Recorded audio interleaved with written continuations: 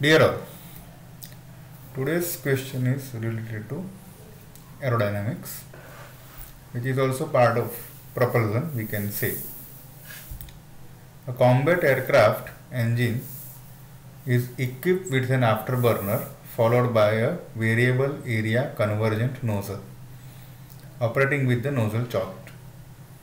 The exhaust gas temperature is 750 Kelvin when afterburner is off and 3000 Kelvin when it is on.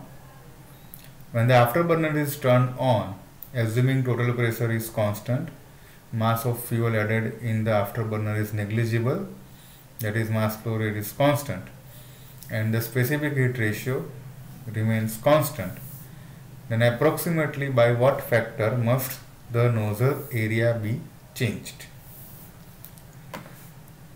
So this question is related to something called mass flow parameter. So we'll try to solve this in two different ways.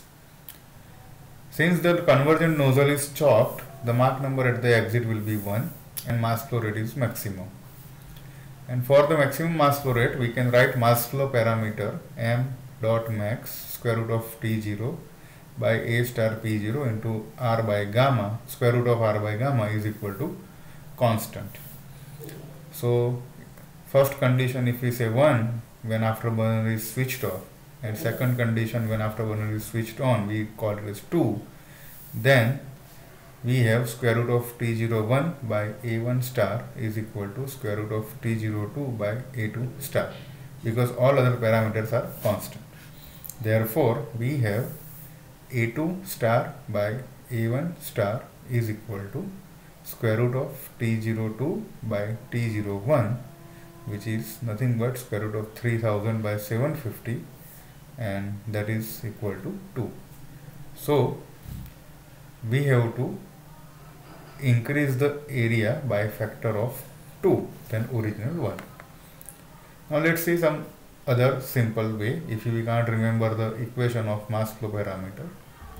In that case we can go back to basic continuity equation mass flow rate is equal to constant. Therefore rho 1 a1 c1 is equal to rho 2 a2 c2 and we can write a2 by a1 is equal to rho 1 into c1 by rho 2 into c2 now rho is p by rt as we know know.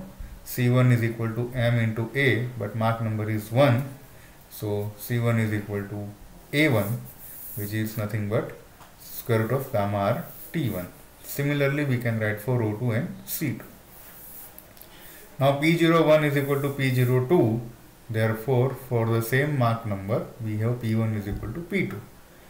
So the simplification will give us square root of T2 by square root of T1 which is again square root of 3000 by 750 is equal to 2. So the answer approximately by what factor must the nozzle area be changed the answer is 2.